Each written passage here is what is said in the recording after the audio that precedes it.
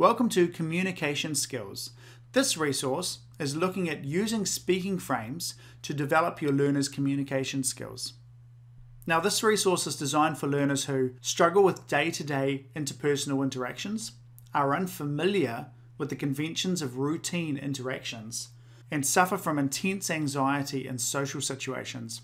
Now, many of your learners won't fall into this category, but for many learners who have English as a second language, or for learners who are at the lower steps of the learning progressions, this may be highly applicable. Improving learners' introductions using speaking frames. The way we're going to do this is by using speaking frames to improve learners' interactions by, firstly, identifying routine interactions between people. Number two, we're going to get the learners to develop their own speaking frames in collaboration with you, the tutor. Number three, we're going to get learners to practice and then adapt their speaking frame. And number four, we're going to gradually reduce their reliance on the speaking frame. Additionally, at the end of this resource, we're going to look at a couple of different ways that you can use speaking frames to further develop your learners' skills. Step one learners share experiences of greetings. Now, a great way to initiate discussion around speaking frames and introductions is to have learners share embarrassing experiences that they might have had or awkward experiences. And this might be particularly good for those learners who find introducing themselves quite difficult. Number two, emphasize the way in which a clear and confident introduction makes a good impression on listeners. Now, a good thing for the learners to know is that no matter how nervous you are on the inside, so long as you present yourself clear and concisely, it makes a great impression on others. And number three, if possible, show an example of a successful introduction. There's always those people who introduce themselves really well. It's a good idea to have a look at those and analyze what aspects of their introduction makes it so impressive. Now, once that's done, move on to step two and discuss the parts of an introduction. So, number one, ask the learners to think about the different types of events that require an introduction to be given. And generally, this will break down into two areas group introductions, where you're introducing yourself to an entire group. Now, these introductions are usually non responsive, that is, the learners will just stand and introduce themselves to a group, but there'll be no dialogue back and forward. And the second one that comes up is conversational introductions when you're meeting people casually or formally, but it's going to be a dialogue between you and them. And then number two, ask learners to identify what information needs to be included in each type of introduction and record these on the board. Now, here's an example of the things that you might get back from learners. Now, some learners will say you need to give your pepeha.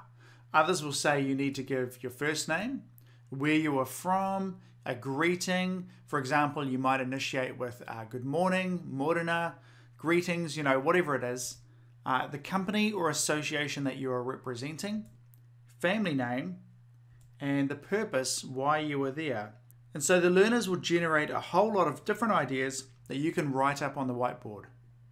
Number three, then you want to order the information into a sequential order. So we're going to put those into some kind of order. For example, you're not likely to tell people why you were at the event before you give them your name. You know, there's just a natural order. Usually you give your name first and so on. And then end the introduction on a question if in a conversation. So something we're going to look at in a further resource is around asking people questions, making sure the conversation flows back and forward. And so we're going to look at that as well. So here's an order you might use if you're introducing yourself to a group. You might give a greeting or a pepeha. Uh, you'd give your first name, a family name, where you were from, where you've travelled from, the company or association you're representing, and the purpose why you are here. And so obviously this has a more formal feel about it, whereas a conversational introduction might be somewhat different. Now, the following part to this is to develop the frame. So you're going to take what the learners have generated and put on the board, and now you've put it into an order, and we're simply going to write it into a script. So this is a script that somebody could read if they were introducing themselves at, say, a workshop or something like this. So this is just an example for somebody who's on a customer service workshop, and they work for the warehouse. Greeting. Hello, my name is Derek Halliday. I live in Taupo and I work for the warehouse and then finish with the purpose. I'm really looking forward to learning some new ways to work with customers and getting to know you. Now, this might seem a little forced and contrived, But the idea is that you have learners practice it in class and they can read from the script.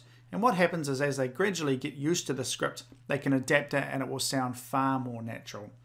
Hello, my name is Derek Halliday. I live in Taupo and I work for the warehouse. I'm really looking forward to learning some new ways to work with customers and getting to know you. And what happens is this can become a script for the learners that they can fall back on whenever they're in a social situation like this. So in this case, it's a little more natural. Hi, I'm Derek Halliday. I work with Sarah at the warehouse.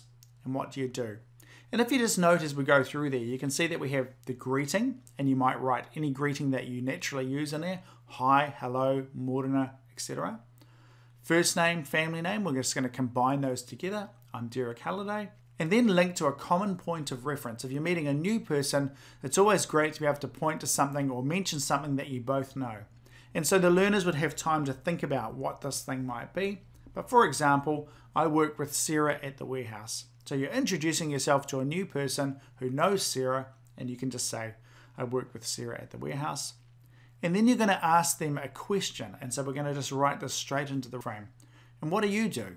And the idea is then the listener, the person you're introducing yourself to, has to respond back to you. Now, this might again seem a little contrived and a little bit clunky, but the idea is to have the learners practice it in class, become more and more natural with it, and eventually memorize it so they don't have to read it off the script anymore. Further applications, just for an example, if you were going to go to uh, Marae and you were going to give a pepeha, then you could write this into your frame as well and you could practice it and the idea is that you learn it by heart and then you can slowly remove the frame and you don't have to walk around with the frame. But again, it's scaffolding and you can just practice this. And finally, you can also use a frame for speeches, for example. Uh, if you're asking learners to give speeches and they're not sure how to do this, then you can give them this form here or something like this, which has an introduction, a body, and a conclusion. And in the section on introduction, you can see that it says state, topic, and main point, list supporting points and the learners would begin to write in their own content there. Supporting point one, supporting point two, supporting point three, summarize main points, and the call to action. But the idea here is again that it scaffolds their ability to deliver a speech and it helps them relax and know there's a sequence to it. And ideally, uh, they would stop using the frame once they have memorized the process.